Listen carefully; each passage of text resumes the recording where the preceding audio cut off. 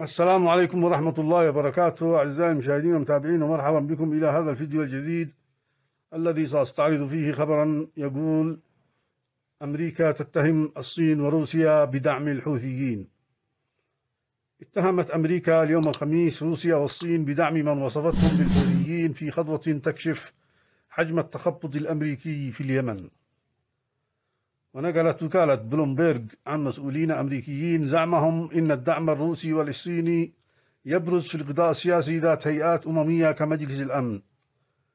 ولم يوضح المسؤولون طبيعة الدعم لكنه يظل مجرد اتهام شأنه شأن الاتهامات التي ساقتها أمريكا بدعم إيران خلال السنوات السبع الماضية من عمر الحرب والحصار على اليمن.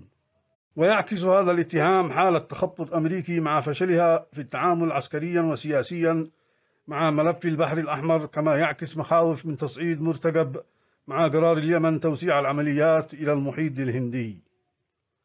أشكركم على حسن المتابعة والإصغاء ولا تنسوا التعليق والإعجاب بالفيديو والاشتراك في القناة وتفعيل جرس التنبيهات. السلام عليكم ورحمة الله وبركاته.